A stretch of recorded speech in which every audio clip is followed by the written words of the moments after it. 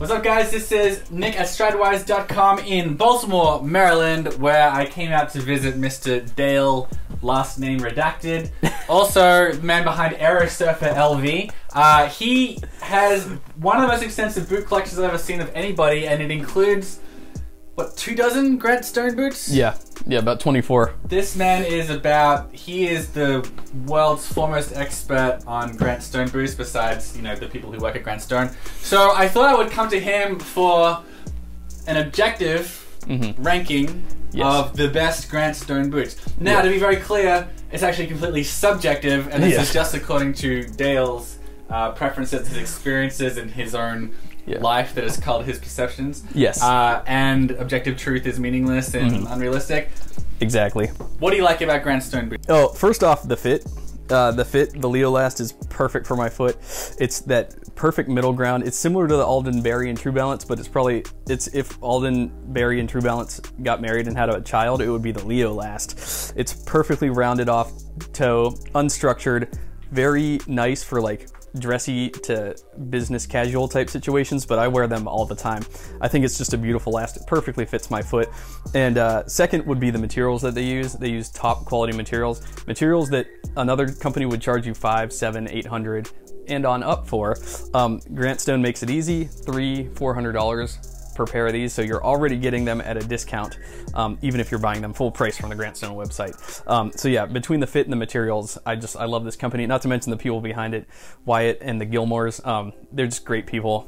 I love them. They're I I consider them friends, and uh, yeah. Great company, great people, great product, and uh, I'm just truly a fan. And uh, so I've just amassed a s- small collection of these over the years. So yeah, real small collection. Universally, 100% of people who handle these boots say, okay, if this was like they can't differentiate it from like a New England boot, and they Mm-hmm. would assume that it would cost hundreds of dollars more than it does cost.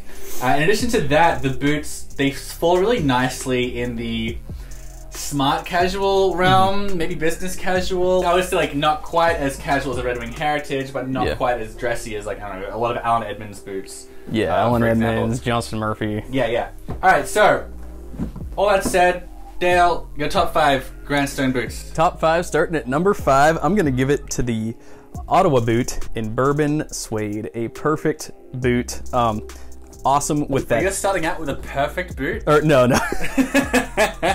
It's I'll- hard for the others. yeah, I'll get to the perfect boot. Hold on. Okay. Uh, it- it'll be on the number We'll one say they're all perfect. Tell us about this Yeah, perfect boot. so, so this is in bourbon suede from Charles F. Stead. Um, it's the Ottawa is a in Alden they refer to this as a Norwegian split toe or a tanker boot design with the split toe right here. So it's not and and it's hand stitched. So th- that's what I love about the Ottawa. It's got that nice hand stitched mock with the split toe down there, very stylish.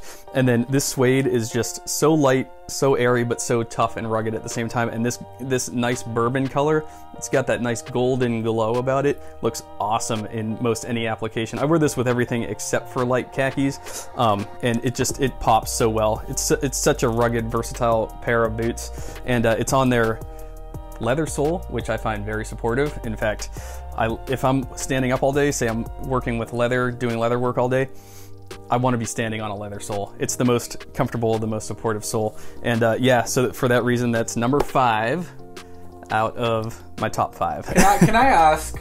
I actually don't have any split toe boots like this. Okay. It's, just decorative. Like, what, what's up Oh, with that? it's decorative, 100%. Yeah, there's nothing. It's similar to a wingtip. There's nothing functional about it. It's only decorative. Uh, I mean, back in the day, they used to use broguing as a function. You know, let the boot breathe. But nowadays, it's purely cosmetic. So yeah, that. Still looks good. Yeah, I agree. I agree. Nice suede. All right, Yes, that's thank number you. five. Number four. Number four, I'm gonna give it to their new diesel boot. This is a, their diesel boot in Storm Suede. I actually bought two other versions of this in coffee and tan. To contextualize a bit, the diesel boot is uh, is the most popular boot from. Yes. from Grant Stone. Yeah, it's their plain toe model. Yeah, it's their plain toe Yeah. Mm-hmm. booty kind of boot. There are about 100 million varieties of them in front of me right now. Yes. Um, yes. But this is an unusual diesel boot in that it has a, a wedge sole. hmm It's got the Vibram wedge sole, and it's made out of uh, yeah Stead's Storm suede, which I really like this color. This is a perfect um, sort of apex color. It's somewhere between blue and gray. I can't really define it, but it's a beautiful, beautiful color for this for this plain toe model. Um, I think it looks really good up against the the double layered leather sole and then the cream wedge sole beneath that. Um, it just it looks sharp. It's it's as close as I'll come to a sneaker without wearing sneakers because I don't like sneakers. So I guess it feel like I'm wearing a sneaker while wearing a boot. It's awesome. Yeah, and this is an unusual uh, entry as well because, as I mentioned earlier, the Grant Stone's boots by and large, and the Diesel boot in particular, are pretty. I mean, sleek is the wrong word, but it's not. It's not chunky, right? Like the Mm-hmm. Diesel boot is. It's not a dress boot exactly, but it's like a smart casual, almost Yeah. business casual sort of thing. So to get a smart casual, business casual boot, and then Yeah. to add a wedge sole underneath it, it's a it's a bit jarring Yeah. but it, it works. But you wouldn't normally see this kind of sole on this sort of like almost dressy upper, and they went up Yeah. being Dale's fourth favorite boot. Fourth favorite boot out of the whole well run. Yes, it did.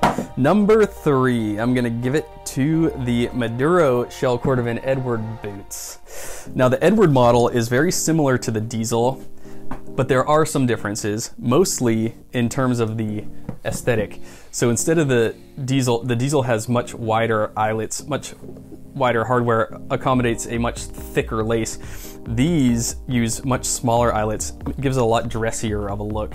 Not to mention, I think there's a difference in the size of the quarters I was reading earlier. Um, Yeah, there's also no stitching along the count. yeah, yeah, no, no, no heel counter here, but you do have a back heel strip here. So, it- yeah, yeah, as opposed to this on this on the diesel, it's got a back heel cup backstay sort of a thing. So yeah, so the backs are different. But the reason why this is so special is this is in a rare shell cordovan color called Maduro. It's like a rich, deep, dark brown. Um, and you know, you could wait for years on our Alden rare shell list before you ever get an offer for one of these. I hopped on this. This was part of a pre-order, and uh, so happy that Grant Stone made it easy for lay people like myself to get my hands on some rare shell. So thank you to the Grant Stone team.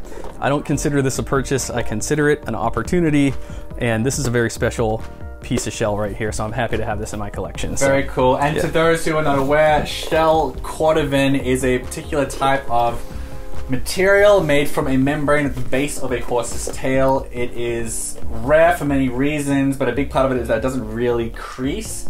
And it's phenomenally durable, uh, and it basically kind of looks new for many, many, many years. It's also massively expensive. Yeah. Uh, and in some and some tanneries take like over a year to make their their cordovan, but it's considered the the creme de la creme of leathers by many people. And normally, if you want a cordovan boot, you got to expect to pay at least seven hundred bucks for it. How much does this cost you? 700. 700 yeah, bucks. yeah. All right. Yeah, Alden But is this is the best of the best. Yeah, it is.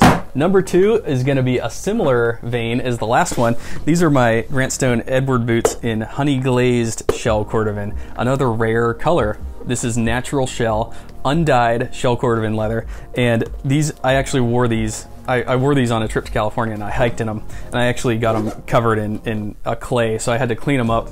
Um, and in a volcanic clay, so I had to really clean up clean them up a lot, and uh, so they've darkened up quite a bit. When I visited Wyatt in his shop in at his warehouse in Baroda, um, Wyatt being the founder of the company. yeah, Wy- Wyatt Gilmore, his pair looked like this. I was like, dude, what did you do to these to bring out such a rich vibrancy about these? They're they're darker, but they're there's so much depth. And he just he used Venetian and he used some uh, Saphir Emerald gloss on it, one thin wax coat, and it really brings out the depth of the shell. So this is my number two Grant Stone, natural shell cordovan Edward boot, plain toe, perfect pair of boots. Two in your top five are both cordovan Edward boots. Yes, You're pretty yes. boring, man. I know. Number one, I'm about to get more boring. More shell cordovan. so these are my shell cordovan brass boots in Maduro shell. Now, tell us why the brass boot is so different to uh, other Grant Stone boots. It's So- one of their newest additions. Yeah. So the brass boot, this is also a brass boot. It's got raised walls. It's Grant Stone's rendition of a mock toe work boot. So similar to the Red Wing work boot.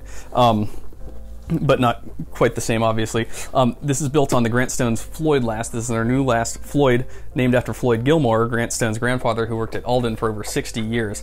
And this is my Grail boot. You know, this is actually my favorite pair of boots. Currently out of all of the 75 um, because a it's that nice rare shell cordovan maduro that nice dark chocolate color very rich and then it also kind of looks similar to an Indy boot which is my first boot love which you've got some Indy boots right back there um, the Indy boot obviously it's got that unstructured toe Yeah, this is a lot littler. Yeah. Sleeker. yeah, a little bit more sleek.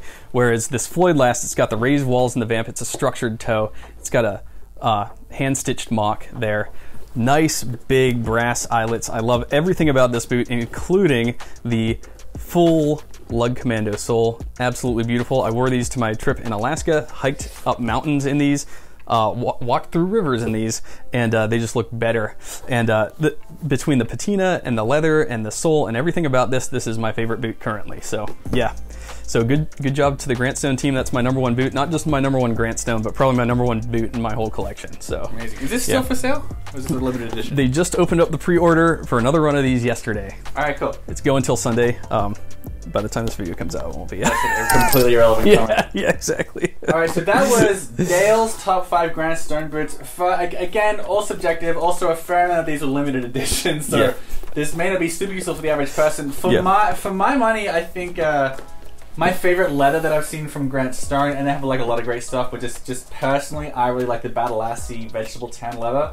That is this leather here, this orangish one, and also this is it with like a bit more wear on a diesel boot. Vegetable tan leather, for those that don't know, is extraordinarily rare and much more complicated to make and more laborious to make than over 90% of the leather on Earth. Uh, and I, I honestly, I don't, I own these boots. I'm actually wearing them right now. Look at that. Um, I think this leather on the diesel boot is. I think that's the coolest boot. Yeah. Honestly. Yeah. Um, it's just it's really super nice and versatile. It ages really, really well. Uh, and this is like a.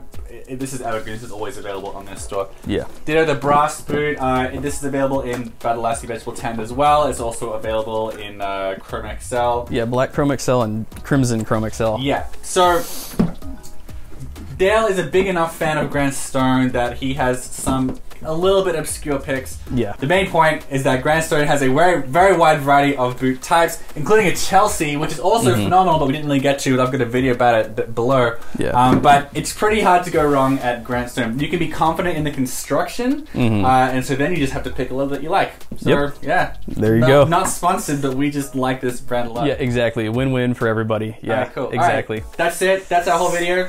Subscribe to both of us below. Yes, indeed. And uh, happy booting. Yes, happy boot hunting. Happy yes. boot. Thanks, man. Thanks for having me on. It's it's been fun. Cool. Thank you. Thank you for having me. Absolutely.